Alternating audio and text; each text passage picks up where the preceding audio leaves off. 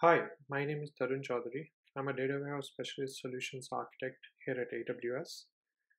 With over 200 features and capabilities added in the last 18 months, Amazon Redshift continues to innovate to make it easier, faster, and cheaper for the customers to analyze their data.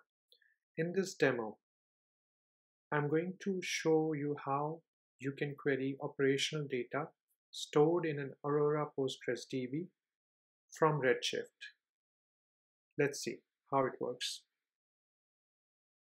In order to make this demo work, I would need the IAM role associated with the Redshift cluster, the RDS endpoint that we are querying, and the, a policy that will enable Redshift to query the Postgres DB. A secret ARN that would be needed to authorize Redshift to connect to Postgres and we are going to create an external schema at the end. Let's see.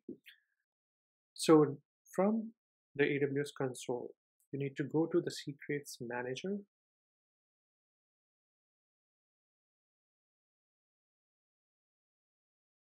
Once you're into secret manager, you need to copy the secret ARN from there. This secret ARN is going to be used in the policy and the create external schema definition as well. So here I just pasted the secret ARN into the policy. I'm going to copy the policy, go to the IAM under policies. I'm going to create a new policy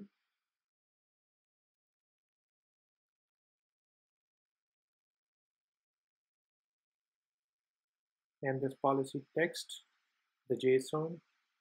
I'm going to copy this JSON and paste it into the JSON box.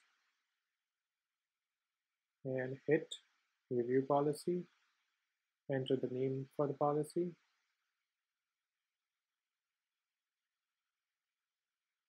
and hit create policy. As you can see, the policy is created successfully. Next step is to attach this policy to the role that is attached to our Redshift cluster. Simply attach policy that we created in the previous step to this Redshift role.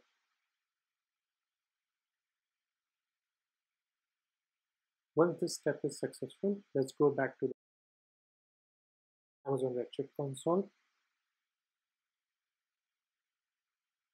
and go to the query editor from here.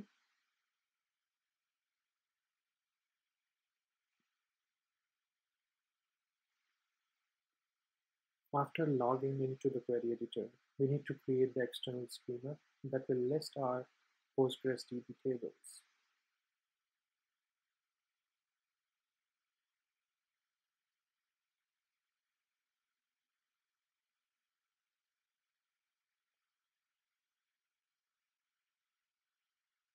I'm just replacing the values here, the IAM role that is attached to our Redshift cluster, the RDS endpoint that needs to that we are querying from Redshift cluster, and the secret ARN as well.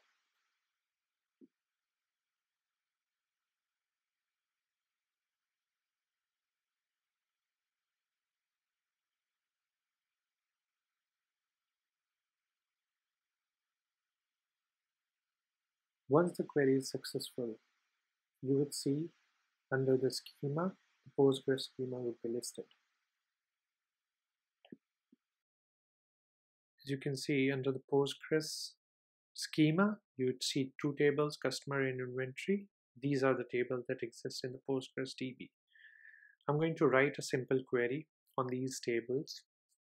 I'm going to write a query on the inventory table. Just to select star and we're going to see how it fetches the data from those Postgres operational database.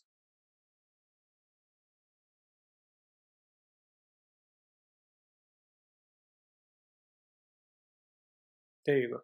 So you can see the results we are fetching from the Postgres schema and the table inventory. Now let's try out a simple join between the local Redshift table and Postgres table.